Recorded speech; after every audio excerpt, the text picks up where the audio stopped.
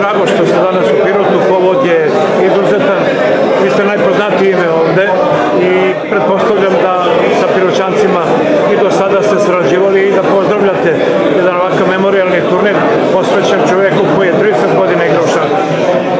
Pa svakako, to je jako lepo. Nažalost, kako vreme odmiče, imamo sve više ovih memorialnih turnira, Nažalost, ali